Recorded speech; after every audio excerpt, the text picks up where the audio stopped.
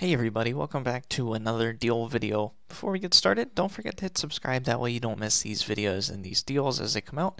And I have a somewhat unusual product, I've never shown anything like this on this channel before, but I, it seems like a pretty good deal. It seems like something that I personally would use, so I thought I would share it with you guys.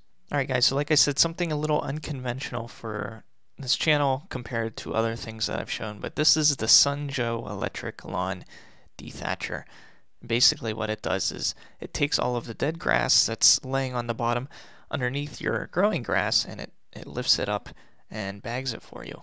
And right now it's on sale for $219 normally, but now $120. So here's what it looks like on the inside. This is what does all of the raking for you, and it has a little bag on the end that you can just dump as it gets filled up.